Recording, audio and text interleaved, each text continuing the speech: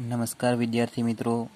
આ વિડીયોમાં આપણે ધોરણ છ ગણિત વિષયના સંખ્યા પરિચય, એકમ વિશે શીખીશું. આ એકમમાં આપણે સ્વાધ્યાય એક પોઈન્ટ એક, સ્વાધ્યાય એક પોઈન્ટ બે અને સ્વાધ્યાય એક પોઈન્ટ ત્રણના બધા દાખલા ગણી લીધા છે. હવે આપણે એક અગત્યના મુદ્દા વિશે જોઈએ, રોમન અંક. રોમન અંક તમારા માટે એકદમ નવો ટોપિક છે અને મુશ્કેલ પણ છે. તો આપણે એના વિશે શીખી લઈએ. રોમન અંકમાં સૌપ્રથમ આપણે જે અંગ્રેજી મૂળાક્ષરનો ઉપયોગ કરવામાં આવે છે રોમન અંક માટે. આઈ, વી, એક્સ, સી. એની કિંમત કેટલી થાય એ આપણને ખબર હોવી જોઈએ. એટલે કે આપણે એ કિંમત યાદ રાખવી પડશે. જેમ કે, આઈ હોય તો આપણે એની કિંમત એક સમજવાની. વી આપેલો હોય તો એની કિંમત પાંચ સમજવાની. એક્સ હોય તો એની કિંમત થાય દસ. એવી રીતના એલ હોય તો એની કિંમત પચાસ. સી માટે કિંમત છે સો. ડી માટે કિંમત છે પાંચસો. એમ માટે કિંમત છે એક હજાર. તો ઓછામાં ઓછી આપણને આટલી કિંમત તો ખબર હોવી જ જોઈએ. તો જ આપણે રોમન એંક વિશે શીખી શકીએ. આઈ બરાબર એક, વી બરાબર પાંચ, એક્સ બરાબર દસ, એલ બરાબર પચાસ, સી બરાબર સો ડી બરાબર પાંચસો અને એમ બરાબર એક હજાર. આ કિંમત આપણે યાદ રાખવી પડશે. ચાલો હવે આપણે રોમન અંક શીખી લઈએ. રોમન અંક સૌથી પહેલાં આપણે એકથી દસ શીખીએ. એમ, એના માટે ત્રણ નિયમ છે. એ ત્રણ નિયમ પણ તમે એકથી દસ સુધીના રોમન અંકમાં શીખી જશો. તો આપણે અંક લખી લઈએ.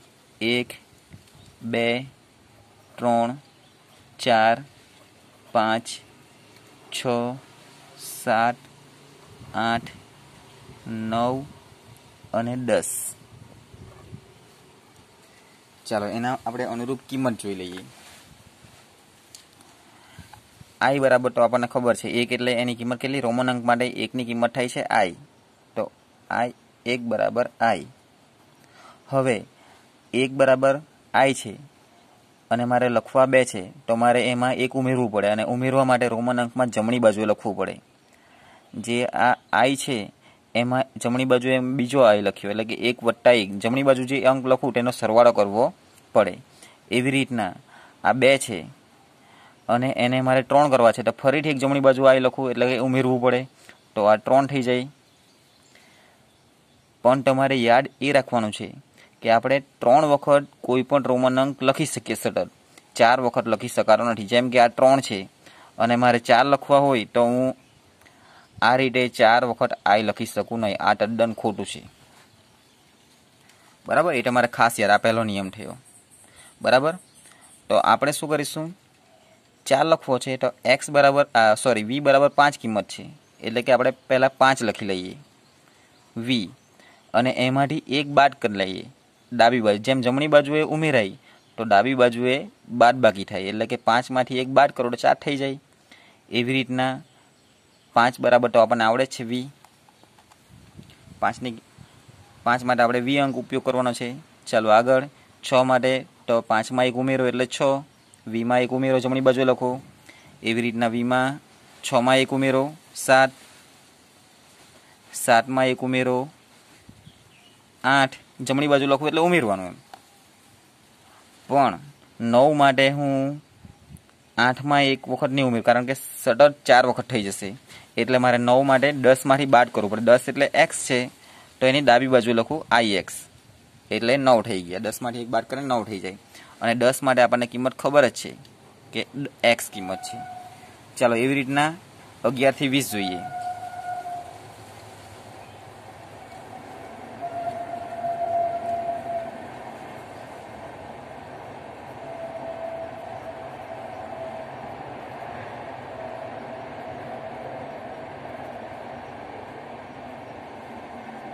વીસ હવે તો એકદમ સરળ છે. તમારે શીખવાનું ફક્ત એકથી દસ જ છે.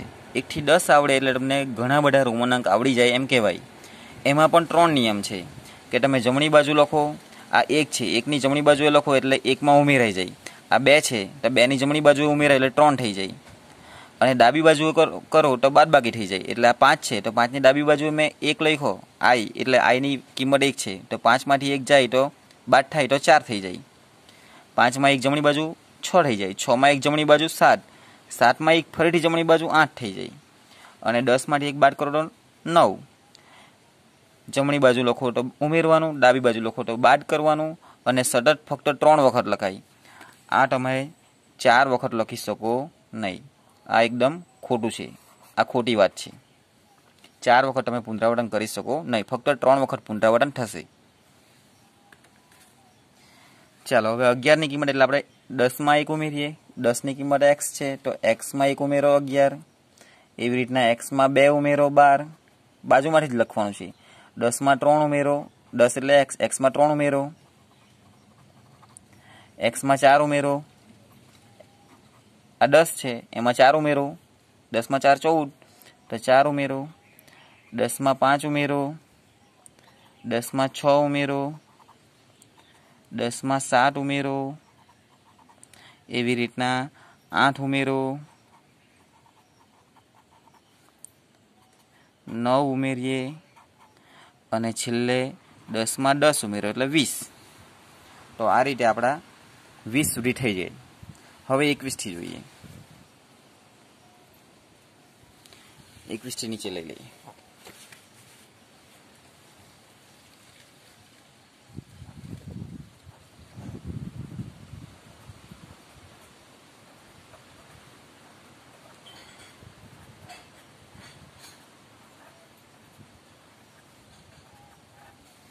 ચાલો વીસ એટલે કેટલા છે? એક્સ અને એક્સ.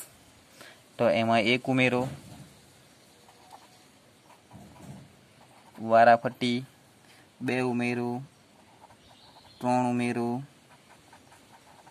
ચાર ઉમેરો. પાંચ. છ ઉમેરો.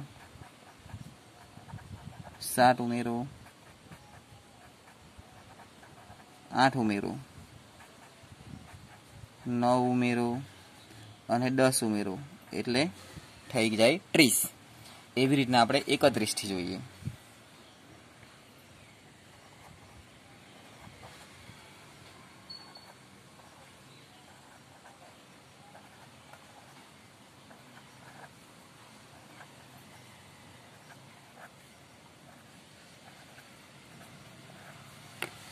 ચાલો ત્રીસ છે, એમાં એક ઉમેર એટલે એકત્રીસ. ત્રીસની કિંમત એક્સ એક્સ એક્સ ત્રણ વખત, તો એમાં એક ઉમેરીએ. એમાં બે ઉમેરો, એમાં ત્રણ ઉમેરીએ, એમાં ચાર ઉમેરો, એમાં જ પાંચ ઉમેરો, છ ઉમેરીએ, ત્રીસમાં સાત ઉમેરો,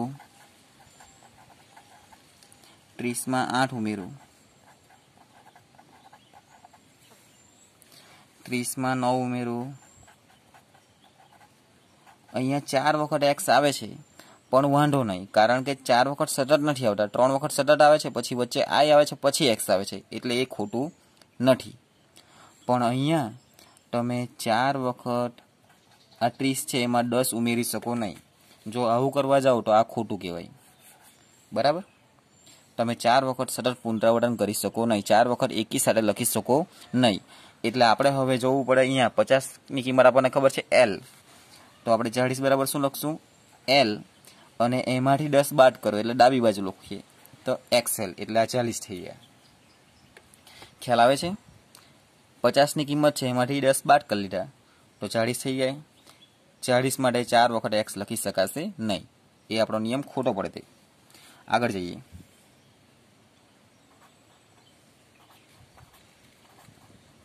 એકતાળીસથી પચાસ જોઈ લઈએ.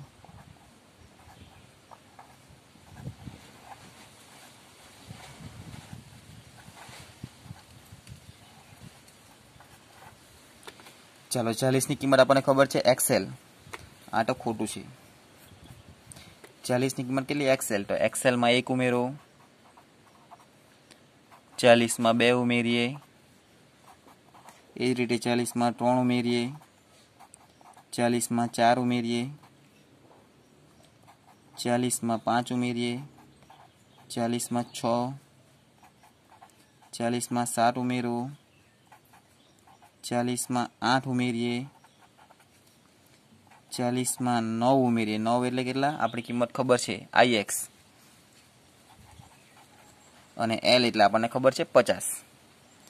તો આ રીતે તમે કોઈ પણ રોમન અંક એક હજાર સુધી સરળતાથી લખી શકો. ફક્ત તમારે યાદ આટલું જ રાખવાનું છે. આઈ બરાબર એક વી બરાબર પાંચ એક્સ બરાબર દસ સમજવાના. એલ બરાબર એલ એટલે પચાસ સી એટલે સો ડી એટલે પાંચસો અને એમ એટલે હજાર.